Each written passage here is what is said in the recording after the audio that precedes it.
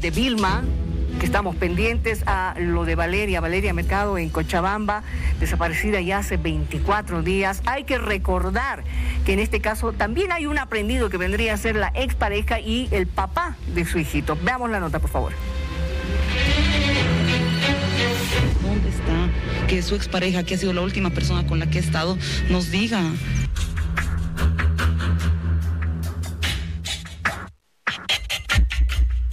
Aprendido de esta manera la noche del martes y este miércoles trasladado a Quillacoyo, Cochabamba. José Luis, la expareja de Valeria Mercado, habría sido el último en tener contacto con la joven de 28 años. Él le decía que quería que su hijo pase allá con él y con sus abuelos eh, su cumpleaños. Después de festejar el cumpleaños, Valeria nos indicaba a nosotros y a varios amigos que ella ya iba a estar de retorno. Para el 10 más o menos fue eso. Nos dijo, sí, ya me estoy yendo, se comunicó igual conmigo, sí, voy a estar en la casa. Pero de pronto apagó su celular. La policía en Cochabamba además informó que la madre del hombre aprendido también estaría involucrada.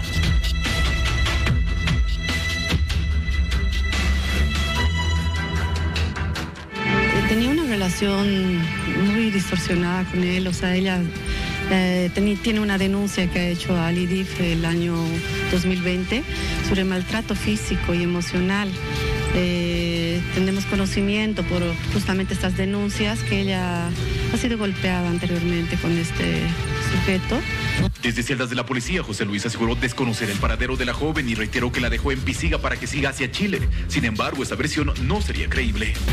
El día 12 de marzo, donde vía WhatsApp escrito, encendió su celular de, después de dos días y le dice, eh, te cuento que me voy a ir a La Paz, a Chile, a trabajar con Luis.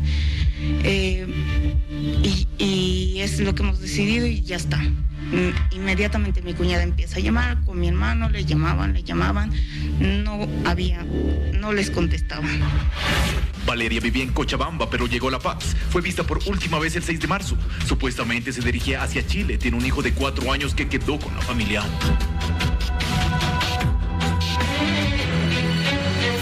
Bueno, y con la información nos vamos a ir directamente hasta Cochabamba, donde familiares, amigos y conocidos de Valeria se encuentran en una especie de vigilia. Nos cuenta todo Luis Tapia, que está en el lugar en este momento. Luis, estamos contigo. Gracias compañeros, muy buenas noches. Buenas noches, Esta es la vigilia que están realizando familiares, amigos y también instituciones en puertas de la Fuerza Especial de Lucha contra el Crimen. Usted puede ver los carteles que ellos están manejando, la fotografía de Valeria. Hay un solo pedido. Valeria no está sola y vuelve a casa. Voy a conversar muy brevemente con las primas quienes han tenido el último contacto con ella. Muy buenas noches. Preocupados pero firmes aquí con la esperanza de que Valeria puede volver a casa. Sí, estamos bastante preocupados, pero no perdemos la esperanza. Como usted dice, jamás vamos a perder la esperanza de que Valeria esté bien. Por favor, si alguien tiene al- algo que decir, por favor, estamos aquí. Polic- los policías están haciendo su trabajo. Han secuestrado dos celulares y una laptop. Queremos información acerca de ello. Por favor, ayúdennos, necesitamos su ayuda.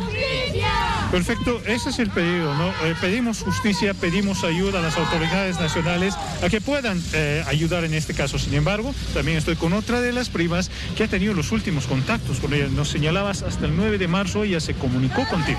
Así es, hasta el 9 de marzo se comunicó conmigo y también con varias amigas, indicando que ya iba a estar de retorno aquí en Cochabamba, cosa que no pasó. Y de repente apagó el celular 10, 11 hasta el 12 de marzo, el último, el último mensaje que ella envió, aparentemente solamente a mi persona, porque yo me comuniqué con otras amistades y otros primos, no había mensajeado a nadie. ¿Qué decía en esos últimos minutos? Eh, nos decía que se estaba yendo a trabajar a Chile con su con su expareja. Y lo que me sorprendió porque Valeria no tiene la necesidad de trabajar. Ella tiene aquí la economía suficiente para estar, estaba bien establecida, su hijo ya estaba en el colegio, ella ya terminó la carrera de derecho, es abogada. Entonces, a los pocos días nos comunicamos con su expareja para averiguar, ¿no? Porque ella si supuestamente se ha ido a Chile, ¿por qué no comunicarse con nosotros? ¿Por qué no comunicarse con los abuelos quienes estaban al cuidado del niño? Esta es la declaración de la familia entonces, esta es la vigilia que se está realizando todavía esta noche y que va a continuar mañana temprano. Mañana a las 8 de la mañana este mismo grupo de personas va a estar aquí porque se va a esperar la audiencia de medidas cautelares de la expareja de Valeria. Es por eso que están esperanzados y además están pidiendo que persona que todavía está aprendida hable y nos diga dónde está Valeria. Imagínense 24 días con esta incertidumbre la familia. Cada día que pasa ya no cuenta por un día.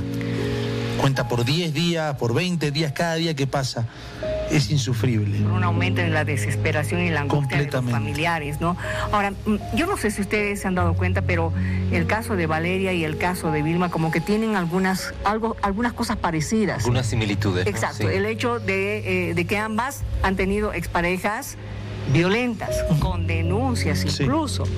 Otro de los datos, en el caso de ambas aparecen estos mensajes de texto totalmente contradictorios con lo que ellas, ellas habían anticipado anteriormente. O sea, parecerían ser estos mensajes escritos por otra persona. Eso coincide en las dos historias. Exactamente. Pues, no es la forma, decía, me acuerdo, la pareja. Álvaro, de, la pareja de, Vilma. Decía, no es la forma en la cual ella me texteaba.